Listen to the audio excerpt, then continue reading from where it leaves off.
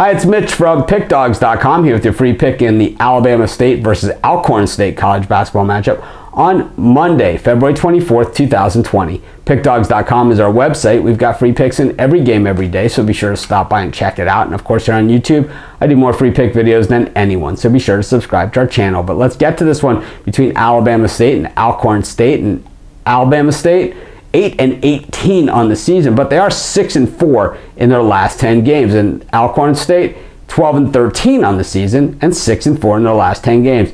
So just like a lot of these other SWAC teams, it's just they played these gigantic out of conference schedules that you know they they made a lot of money on it, but they had no chance at winning games, and you know it ends up you start the, the conference conference season, you know you're you're one and, and 15, you know to get the ball rolling, and that's just how it is in the SWAC and the MEAC these days. But um, you know uh, Alabama State 13, 12, and 1 against the number, and they are 4 and 2 at home, 6 and 4 in their last 10 games, and 6 and 4 against the number, while Alcorn State is uh, 3 and 12 on the road this season. Even though they are 7 and 8 against the number on the road, they're just 3 and 7 against the number in their last 10 games, even though they've also gone 6 and 4 over that span.